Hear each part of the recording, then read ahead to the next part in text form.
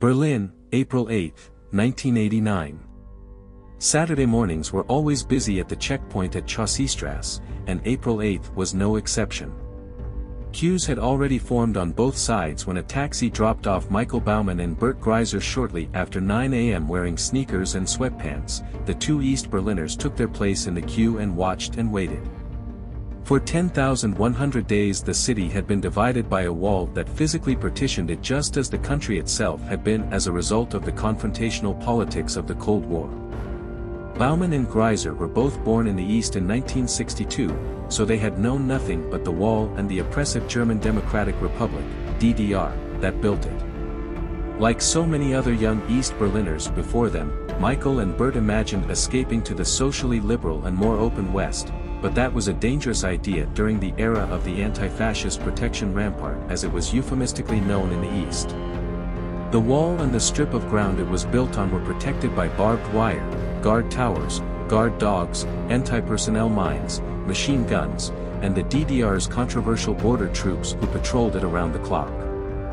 They were there to prevent East Germans from escaping into West Berlin, and they had a deadly reputation because of the order to fire, a standing order to shoot anyone attempting to defect by crossing the wall, a crime known as Republikflucht.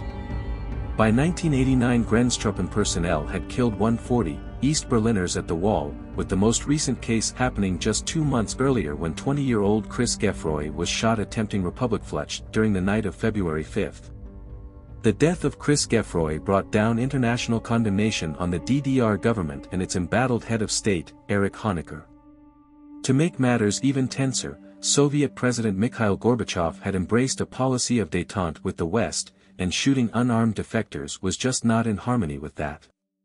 In response, Honecker quietly revoked the order to fire on April 3 with the words, it is better to let a person run away than to use a firearm in the current political situation.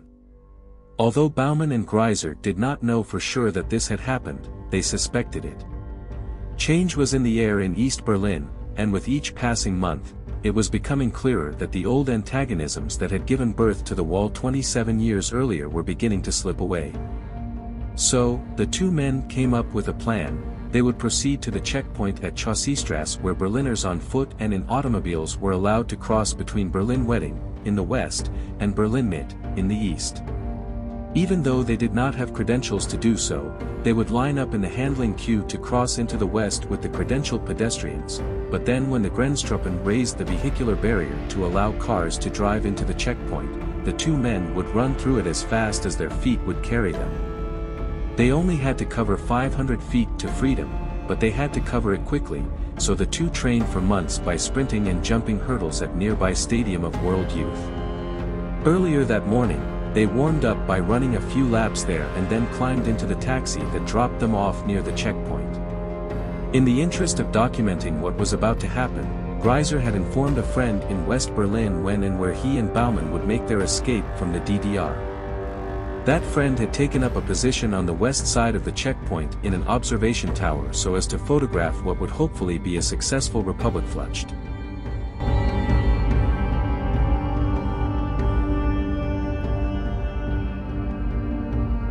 At 9.30, a guard raised the barrier to allow a car to enter the checkpoint, and that's when Baumann gave Greiser the signal.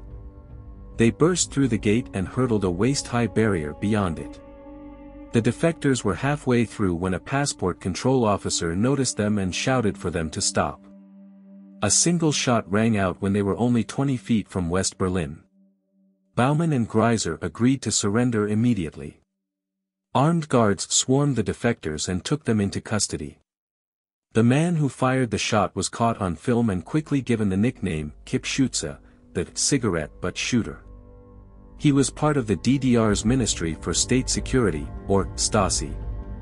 When the news of the change in policy reached the Grenztruppen, the Stasi remained unaware, and that's why the Kippschütze did not hesitate to fire. His shot from an East German Makarov was the final shot fired at the Berlin Wall. Throughout 27 years of Cold War brinksmanship, firearms had been discharged hundreds of times, but the Kippschütze squeezed the trigger on the final round.